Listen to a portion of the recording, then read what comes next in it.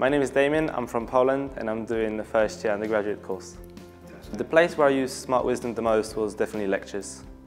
The main benefits of using Smart Wisdom were definitely the fact that I was able to be in control of the flow of the lecture and be able to understand what the lecture is saying. And most of all, I was able to concentrate on what the lecture is saying, whereas before, I very often was losing the focus.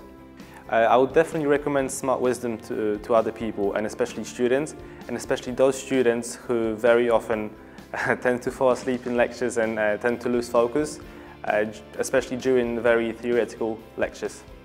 The one word that I would use to describe Smart Wisdom is definitely control because when using Smart Wisdom in lectures, I was literally feeling like I was in control of the flow of the lecture and I could be very selective when taking down notes, whereas before I, I tend to take down everything that was being said and that's really impossible to do.